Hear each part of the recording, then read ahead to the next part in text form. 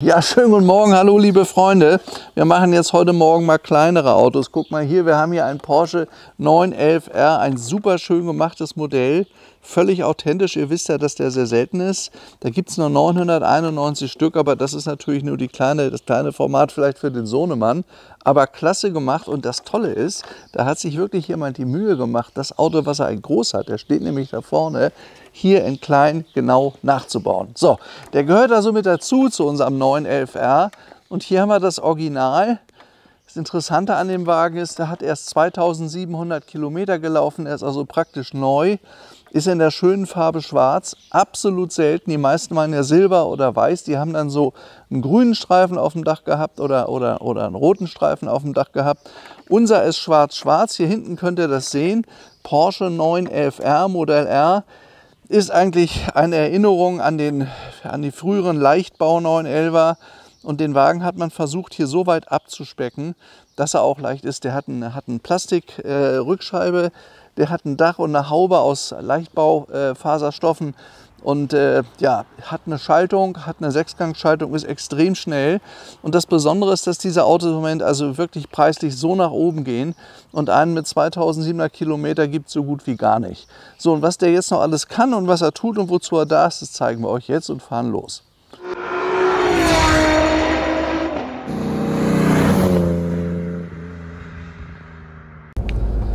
Ja, das ist ein richtiges Rennteil. Paul, Paul läuft schon, ne? Ja. Ja, Film ist online. Wo wir da lang? Ja. Ja, jetzt müssen wir ein bisschen warm fahren. Kennt ihr ja schon wie immer. Wir haben ja schon mehrere von den 911R verkauft, weil es halt was Besonderes ist, eine limitierte Auflage. Und es ist eigentlich, wenn man so sagen möchte, ein Oldtimer oder ein Oldie auf neu. Es ist ein Sauger, hat Sechsgang hier, sehr edel gemacht, alles in Carbon. Schaut euch das mal an hier vorne. Und äh, der Besitzer ist ganz lustig, der hatte eigentlich äh, die, die, das Interieur in dunkelbraun geordert. Das hat ihm dann nicht gefallen. Und dann hat das hier in Pepita nochmal nachgeordert. Das heißt, zum Lieferungsumfang von dem Wagen gehören zwei Innenausstattungen. Das ist auch relativ selten. Sowas gibt es eigentlich. Ah, hallo, unser Heizungsbauer. Ist in 3,8 Sekunden auf 100, hat 500 PS, ist eine Boxermaschine. Ja, und das merke ich jetzt schon. Ist natürlich sehr, sehr leichtfüßig, so ein Auto wiegt 1,4 Tonnen. Die haben abgespeckt, wo sie abspecken konnten. Man sieht das hier zum Beispiel an dem Zuziehgriff. Hat aber auch die ganze Dämmung weggelassen in dem Auto. Also man spürt so ein bisschen, dass der ein bisschen lauter ist. Ähm, aber wie gesagt, puristisches Auto, puristischer 911R. Die alten 2.7 RS beispielsweise sind ja ab 1972, 73 gebaut und die sind also preislich durch die Decke gegangen. Wenn ihr da ein echtes Auto habt, da kosten die 700, 800, 900.000 Euro und äh, für, für, für einen Dünnblechwagen bis zu einer Million. Und das sehe ich bei so einem Auto hier auch kommen. Die sind schon bis 700.000 gehandelt worden. Unser hier liegt einiges unter 500, also der ist gar nicht so teuer. Das Tolle ist, der ist eigentlich faktisch neu, kann man sagen. Ne? Weil der hat ja nicht mal 3000 Kilometer gelaufen, der ist auch innen wie neu. Das riecht man aus. Das ist praktisch ein Jahreswagen, obwohl er schon 2016 gebaut wurde und Porsche hat anders als bei anderen Serien den nicht nochmal gebaut. Also man hat es einfach dabei belassen. Es gibt diese 990 Stück und Ende. Er hat hinten ein bisschen weiteren Spoiler, damit er noch besser auf die Straße drückt. Der fährt auch elektrisch aus ab 60 Stundenkilometern. Ja, man spürt, also der, der kann das noch nicht fahren, ey. Das ist keine Dämmung mehr. Das hört sich ja furchtbar an. ja, wir haben also die letzten Wochen hier fürchterlichen Regen gehabt, das ganz Bayern fast weggeschwommen. Hat natürlich zur Folge, dass wir heute Morgen traumhaft schöne Wiesen hier haben. Ist alles nass und feucht. Aber da spült er mitunter mal so kleine Steinchen auf die Straße. Das können wir jetzt auch nicht ändern. Wir sind aber gleich auf einer großen Hauptstraße. Da können wir mal fahren. Also ist alles ganz modern. Er hat ein modernes Navi hier vorne, Temperaturanzeige, er hat eine Klima, äh, Klimaanlage, ist auch auf, noch auf Sport stellbar, hat auch hier Soundklappe. Jetzt dürfte er nochmal deutlich lauter sein hätten. Jetzt müsste er richtig Pause haben. Hier ist doch richtig, ne? Ja. Dann hat er ein Liftsystem hoch und runter. Hier könnt ihr sehen, hat eine gute Ausstattung, hat einen 90 Liter Tank, verbraucht so, ich sag mal, drumherum 12 Liter, je nach Fahrweise. Und äh, wie gesagt, die Rarität, das ist ja heute auch beim BMW Z8 ganz wichtig. Welche Farbe hat so ein Wagen? Und wenn so ein Auto schwarz ist wie der hier, das ist ganz, ganz selten. Es gibt also, ich weiß gar nicht, zehn Stück oder was, die in schwarz gebaut wurden. Und das ist hier einer. Und dann hat er eben nicht 20 gelaufen, sondern 2700. Ja, hier in der Mitte schön die, die Uhr da vorne. Schönes Designelement. Dann ist er ganz leder ausgestattet. Oh ja, er hat auch einen anderen Sound. Jetzt haben wir hinten die Brülldüse an, ist ja klasse. Ja, das ist ein richtiger Sportwagen. Er klebt auf der Straße.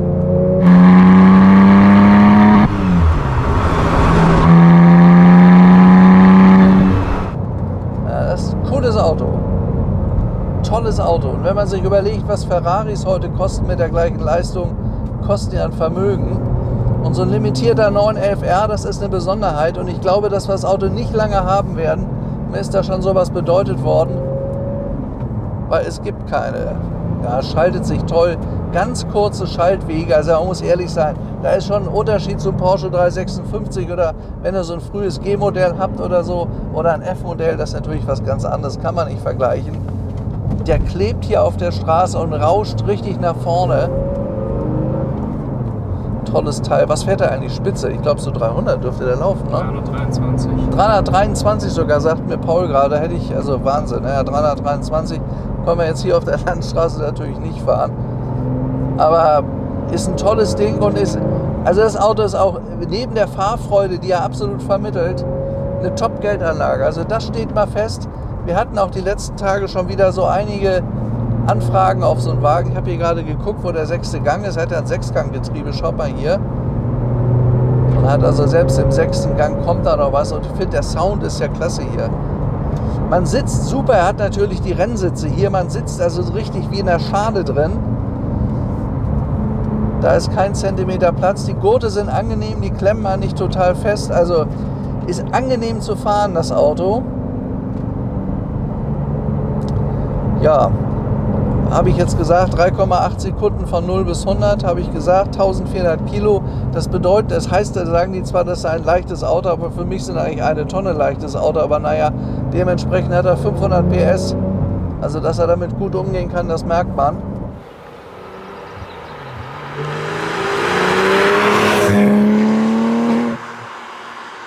Ja, ein reines Sportgerät. Ein reines Sportgerät.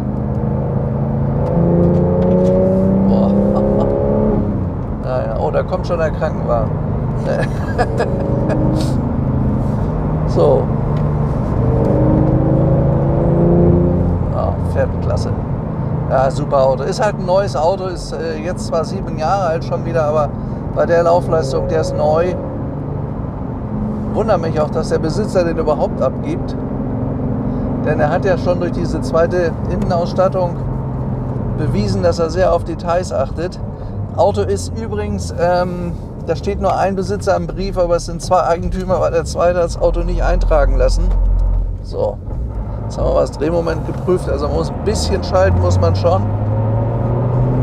Ja, Drehzahlmesser geht bis 8000, also bei ca.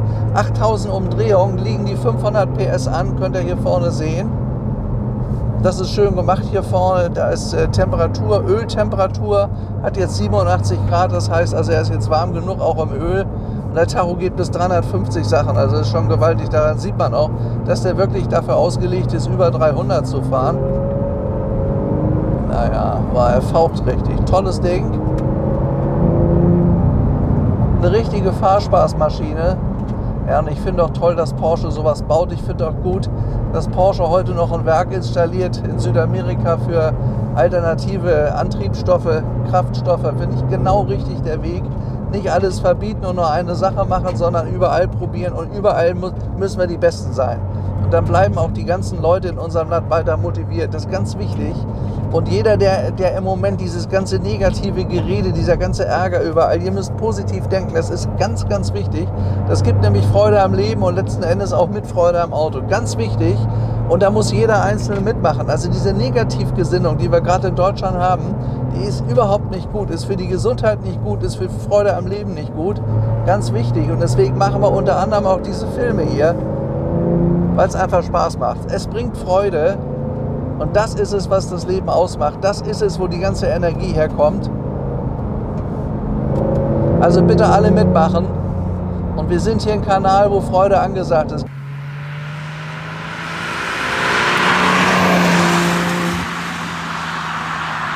Jetzt sieht man hier, jetzt ist der Deckel hinten auf, dass ihr mir sehen könnt, wo die 500 PS herkommen. Also ich habe mir das Auto eben nochmal angeguckt.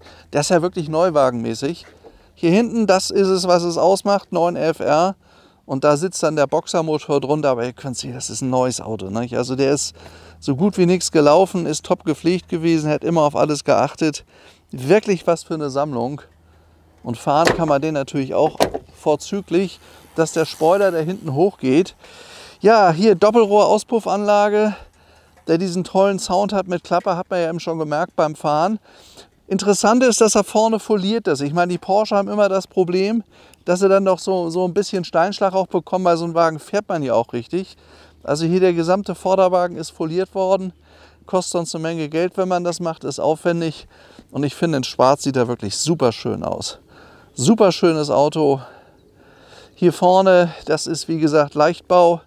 Dach ist Leichtbau, Fenster hinten ist auch Leichtbau, dadurch hat man viele Kilos gespart innen drin. Nur den Zuziehgriff mehr hat er nicht. Ja, und dann hole ich euch, warte mal, dann, äh, ich hole mal kurz die Liste, welche Extras er hat. Das habe ich mir nämlich nicht alles gemerkt. Also er hat das Liftsystem. Ach ja, ich habe ja immer so meinen kleinen Spickzettel hier. Hat mal neu gekostet 190.000 Euro wenn man sich überlegt, dass so ein Wagen jetzt 500 bis 700 kostet, da hat sie schon wirklich was getan. Die Leute wollen halt eben so einen Wagen in, seiner, in ihrer Sammlung haben. Auto gab es nur mit Schaltgetriebe und sollte am Ende dann an die älteren 911er Modelle erinnern. Also Reminiszenz an die erfolgreiche Vergangenheit von Porsche und auch schöne Details, wenn man sich die Spiegel hier vorne anguckt, auch Carbon. Also es ist schon sehr, sehr edel gemacht und ich finde auch, schwarz steht ihm eigentlich fast am besten. Da sieht er wirklich klasse mit aus.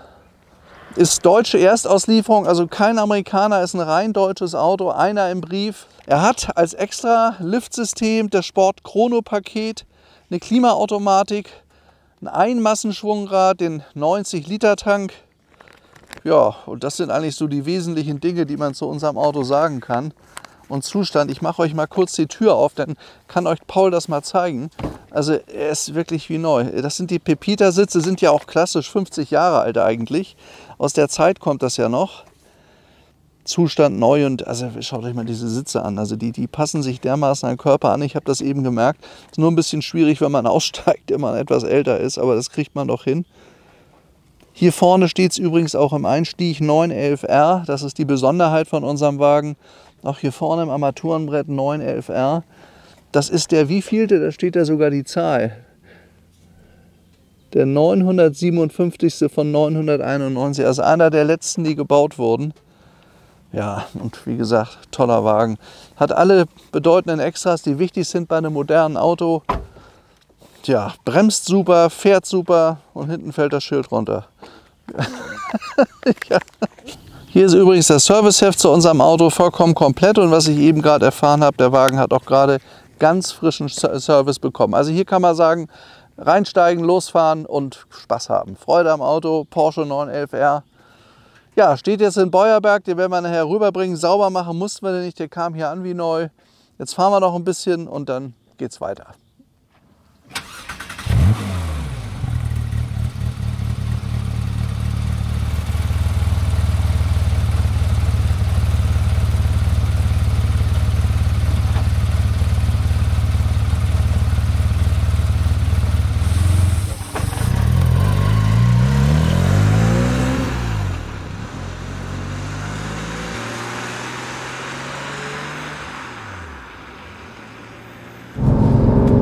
Ja, also zu unserem neuen FR Porsche sei erwähnt, ich kann nur wirklich jedem empfehlen, zugreifen. Das ist ein Auto, das werden wir nicht lange haben.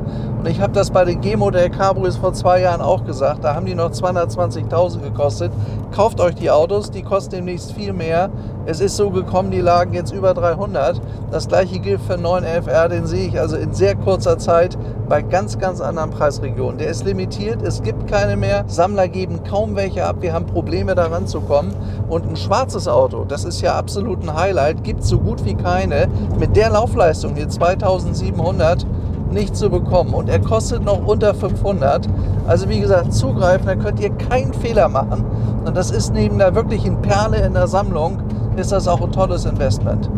Ja, soviel zu unserem Porsche 911R. Wir treten gleich nochmal so ein bisschen drauf, weil eins merkt man, oh ja, Sound muss er auch haben, hast du wieder angemacht, ne? Ja, die Klappe ist toll.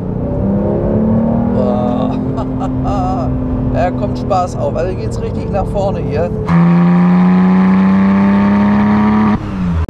Das ist doch hier voll Spaß hier. Ja. Cooles Ding. An die Schaltung muss ich mich ein bisschen gewöhnen, die ist sehr kurz. Die muss man genau treffen, wo die Gänge reingehen. Aber fahren echt tolles Ding. Also was Porsche da wieder entwickelt hat, das ist schon mittlerweile sieben Jahre her, aber schon wirklich einmalig. Und er klebt auf der Straße. Er klebt und man merkt, dass er leicht ist, aber er ist innen ein bisschen lauter, man spürt das, weil sie halt eben die Dämm Dämmstoffe weggelassen haben. Das ist ja das, was ein R ausmacht. Sitzen tut man perfekt in dem Auto. Also ich sag mal, mehr Auto braucht kein Mensch. Mal kurz gucken hier unsere Gerade.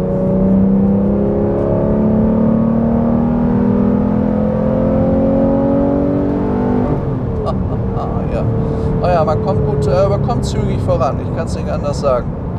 Macht richtig Spaß, leere Straße heute Morgen, knochentrocken, Sonne scheint, herrlich. Besten Voraussetzungen für Porsche-Fahrer. Ja, jetzt sind wir mit dem Auto ungefähr so unsere 15 Kilometer gefahren. Mir hat das echt Spaß gemacht eben, kann ich nicht anders sagen. Ist einfach toll, sowas muss sein. Das muss man, das braucht man im Leben. Da kommt ja nicht nur das Auto auf Drehzahlen, sondern man selber auch. Also ich steige immer nach so einer Fahrt ganz anders aus, als wie ich einsteige. Also wenn man mal so morgens losfährt, dann ist man manchmal noch ein bisschen muffelig und so. Aber wenn man da raussteigt, dann, dann ach, das begeistert fast einen richtig an. Macht einfach einen Riesenspaß. Hier muss man aufpassen, da wird geblitzt hier vorne. Nicht, dass wir da einen Stress kriegen. Kurze Schaltwege, klebt auf der Straße, neuwertiger Zustand. Das kann man hier in der gesamten Mittelkonsole sehen, auch auf den Sitzen. Da ist nicht ein Fleck. Hier müssen wir 60 fahren, wegen Linksabbieger. Ja, und jetzt hat er 2788. Also er wird am Ende, wenn wir den Film, wir fahren noch drei, vier Kilometer, dann ist er immer noch unter 2800 Kilometer. Hier könnt ihr das sehen. 17 Kilometer sind wir gefahren heute Morgen. Also Auto läuft toll, das ist eigentlich wie ein Neuwagen. Und dadurch, dass die Inspektion jetzt auch noch gerade gemacht wurde, spart man sich das auch noch. Pah. Was soll ich noch sagen? Mehr passt, mehr fällt mir da gerade gar nicht so ein. Aber macht einen riesen Fahrspaß. Es ist wirklich, also die neuen Porsche weiß ich nicht, die kommen mir heute so ein bisschen sehr ausladend vor. Aber ich muss auch zugeben, ich bin die letzte Zeit gar keinen gefahren. Das müsste ich vielleicht mal machen. Wird uns bestimmt auch angeboten. Wir haben ja noch einen Carrera Cabrio drüben stehen. Der hat erst 1700 Kilometer gelaufen. Den konnten wir mal fahren. Ne? Haben wir gar nicht gemacht. Das stimmt überhaupt. Ein Grauer, der ist, äh, das ist ein Oldtimer-Mann, der sich den Porsche gekauft hat. Ein Cabrio ist ein Jahr alt. Und er sagt, ach Gott, das ist überhaupt nicht meine Welt, will ich nicht haben. Den könnten wir auch mal fahren. Da wissen wir, wie die neuesten fahren. Das zeige ich euch auch mal. Ja, wie gesagt, wir nehmen ja alle Arten von Autos, wenn sie gut sind. Das ist ganz wichtig und wenn sie was Besonderes sind, immer mir anbieten, dass wir noch Kollegen suchen. Wisst ihr, glaube ich, wir brauchen noch hier zwei Kollegen in Bayern. Wir brauchen einen, einen äh, Mann fürs Backoffice, der richtig gut ist, der das alles handelt. Dann brauchen wir noch einen Kfz-Mechaniker. Und in Hamburg kann man sagen, brauchen wir das Gleiche. Also wir sind jetzt insgesamt 17 Leute, die Cargold vertreten, die begeistert das machen, was wir hier auch jeden Tag machen. Tolle tolle Autos, Sportwagen und Oldtimer. Also wer Lust hat, in unserem Team mitzumachen, ich kann euch sagen, Spaß- und Freudefaktor ist hundertprozentig der Fall. Und wir sind alle bestrebt und täglich dabei, diese negative Stimmung hier in dem Land umzudrehen. Wenn da jeder seinen Teil dazu beiträgt, dann gelingt uns das auch wieder. Deutschland war lange, lange Zeit ganz, ganz vorne. Und mit der richtigen Begeisterung, mit der richtigen Motivation schaffen wir das auch wieder. Bin ich fest von überzeugt. Und wenn mal so geredet wird, das ganze negative Gerede darf man gar nicht hinhören.